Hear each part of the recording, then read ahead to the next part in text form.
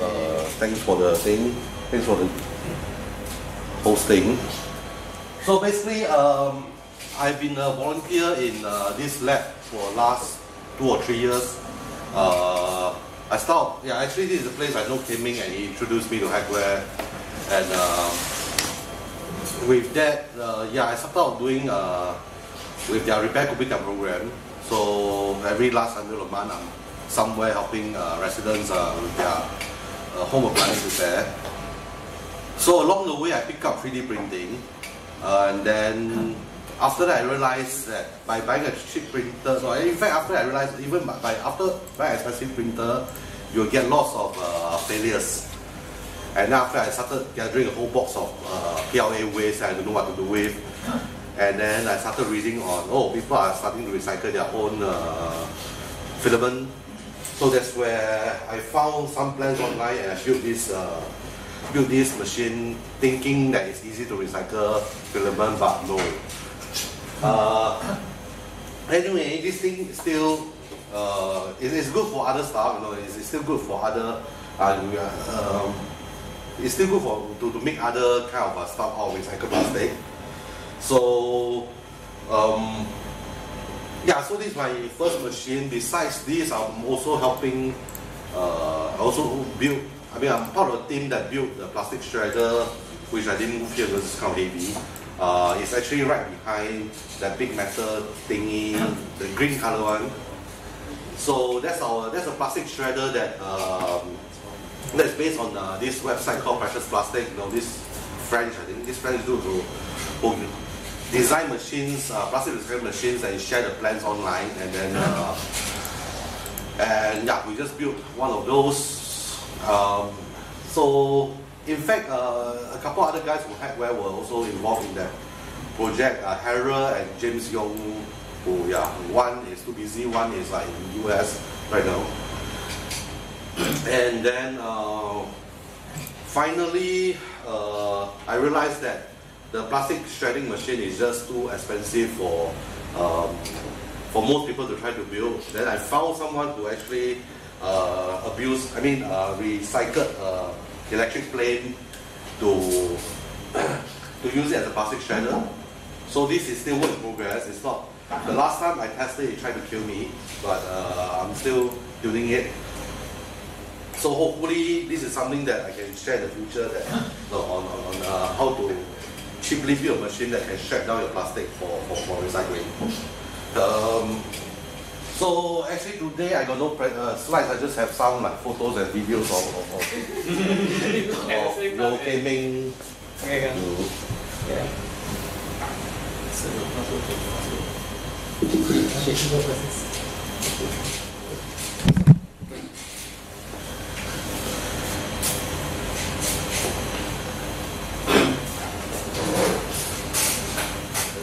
Yeah, so it's all started out with a very cheap component for my uh, plastic extruder machine.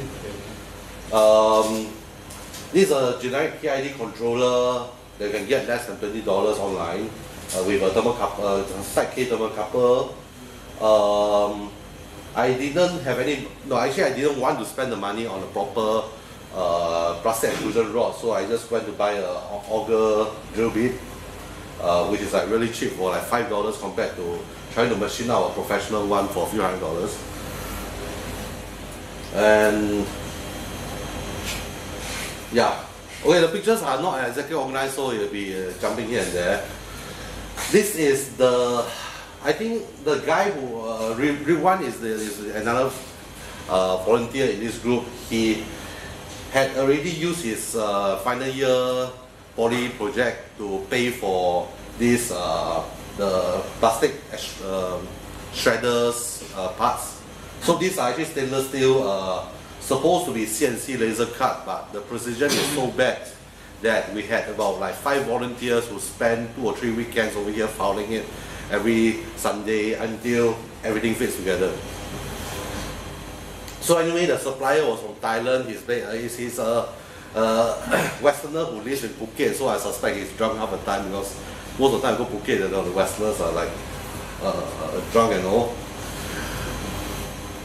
Um, yeah, but uh, in fact, after building this, I've been uh, I've been contacting the other uh, precious plastic uh, groups around uh, Asia, and then uh, starting to get better machinists. But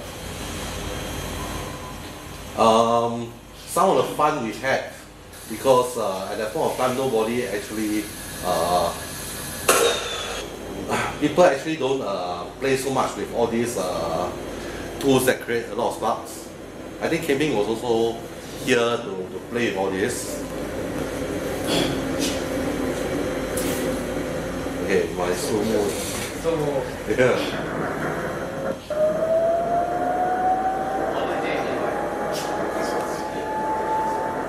So this is like for a start, uh, we have just created a little bit of sparks.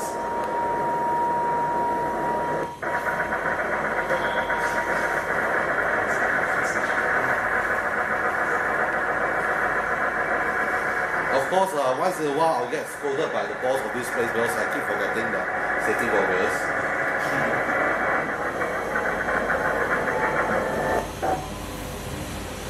Okay, repeated, repeated. Yeah, so after about two, that, that two or three weeks of uh, fouling, we finally managed to assemble the whole shredding bits. And this is, we are, this is the point where uh, we are still experimenting on how to, uh, how to uh, arrange the blades. And uh, most of the time, Harold was the one working on this. I, I'm not too sure how many of you know him. He's uh, only French. He's only French guy, right? Yeah. Uh, this is the three-phase uh, motor that uh, we that actually by itself is still cannot work because number one we don't have three-phase power and we don't plan to drive it directly. So fortunately, there's a lot of uh, inverters out there that uh, converts your one phase to drive this kind of three-phase motor. But that also costs us quite a bit in this. This particular motor itself is very close to like six or seven hundred dollars. The controller is another like five or six hundred dollars.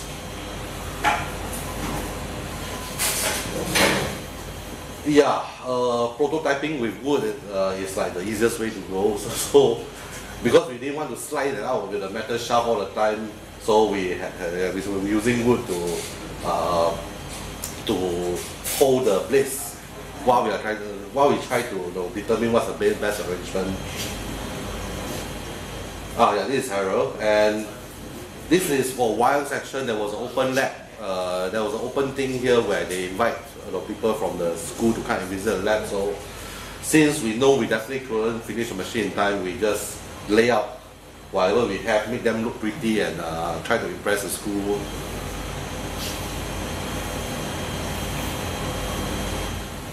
And yeah, um, so along the way of machine building, we also need to do uh, need to weld.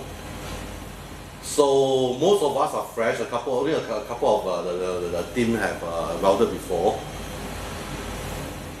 And uh, yeah, this is uh, this is Ben and Rizwan doing the doing the uh, assembly, the mock-up assembly to see to, to, to confirm which piece uh, joins to which piece uh, before we start the weld.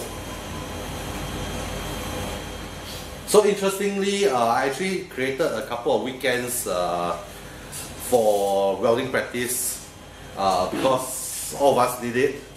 And then, um, so one fine Sunday, one of the Jaga, uh, one of the guard here actually walked past, looking at us. He keep looking at us, and then after finally we say hi to him and say, he actually tell us he was a welder at Keppel before, and then he came to give us free lessons.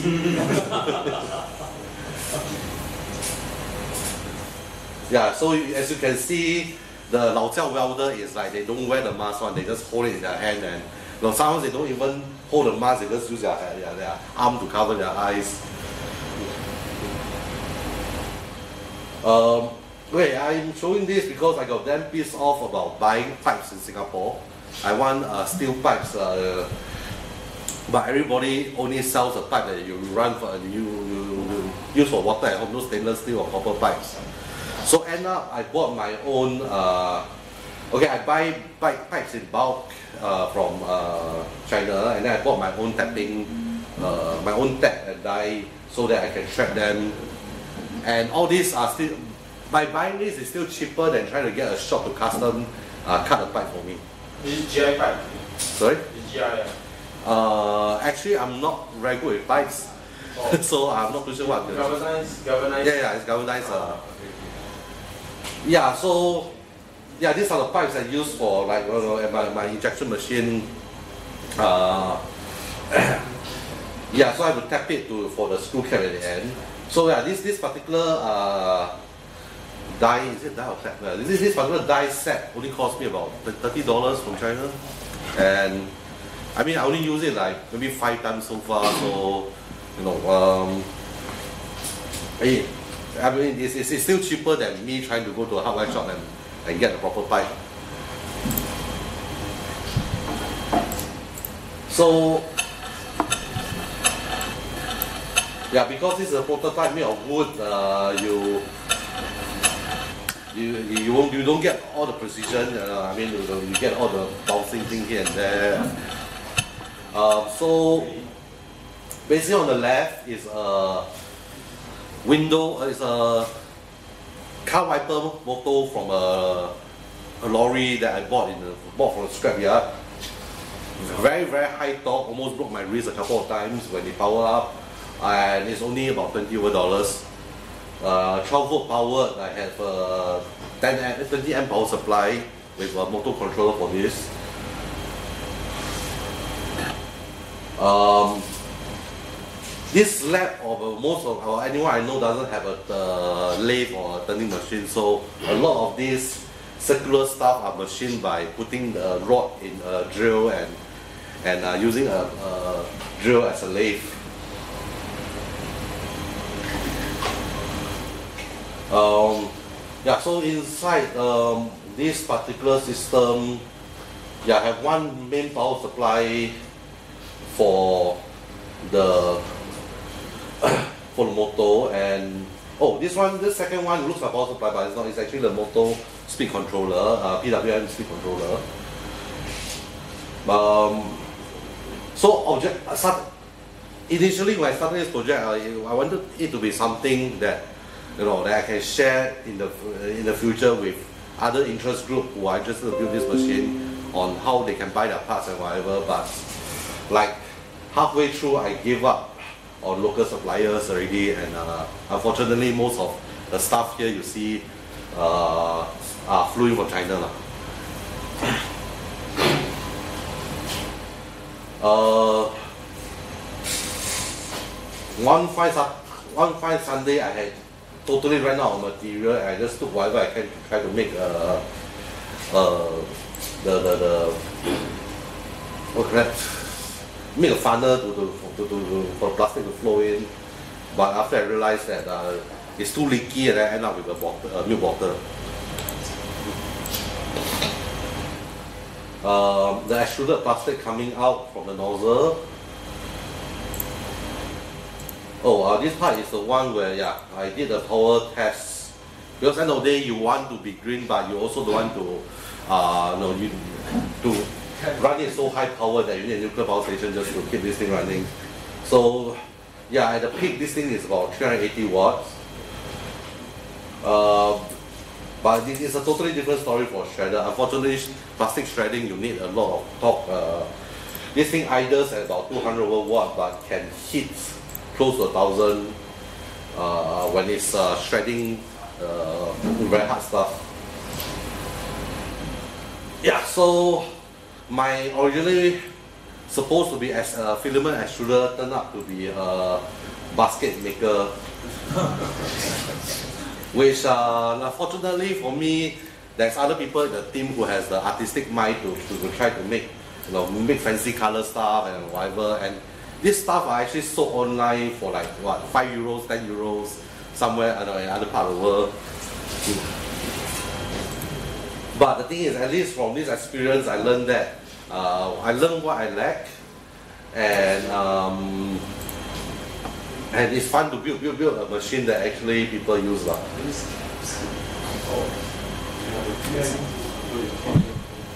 Yeah, uh, it's just a generic China PID. Initially, I thought I want to start with like you know just get an Arduino and uh, a couple of relays to do it. Then I realized, oh, a PID is only fifteen dollars.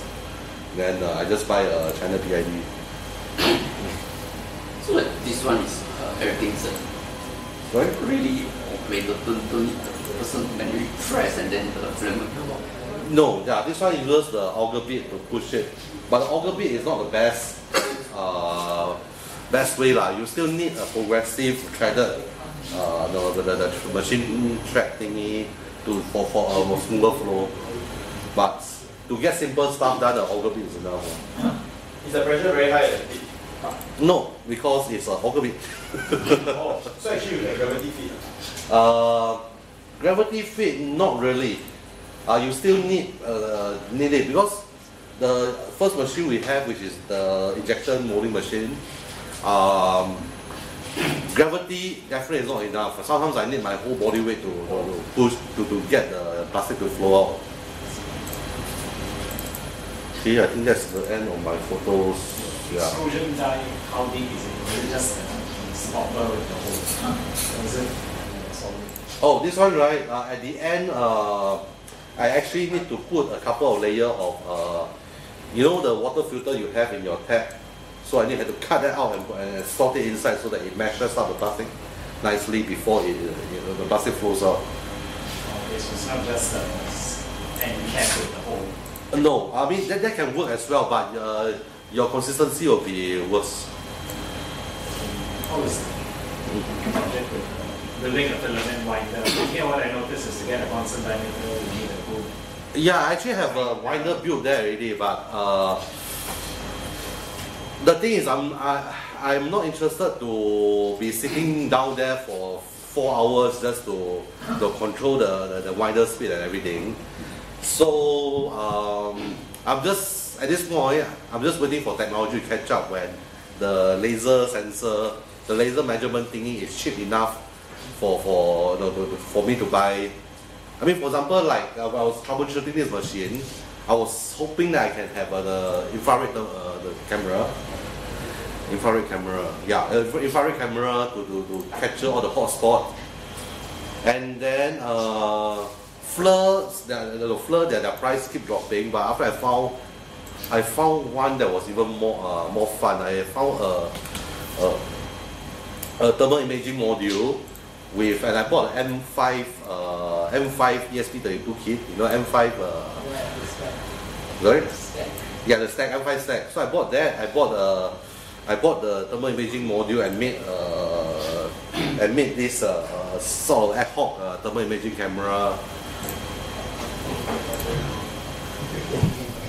So yeah, I believe you know when uh, yeah uh, if the technology is too expensive at one point of time, just be patient, work on something else, and wait for price of technology to drop before go go back to it. Unless you are, of course, you are it's your day job, then you know different. You just need to convince your boss to pay more. Okay, so uh, yeah, so that's my adventure in uh, building machines in uh, yeah plastic recycling machines. Thank you.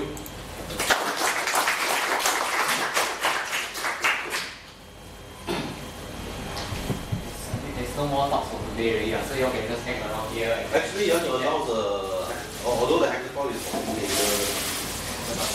Uh, hackathon do the hackathon coming. No, the science center hackathon. Not my problem.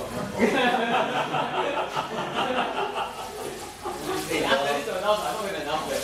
Huh? So what is the sponsor? No. Ask really, you don't, you don't want, I'm okay. Oh, yeah, actually, he's not in the organization. Oh,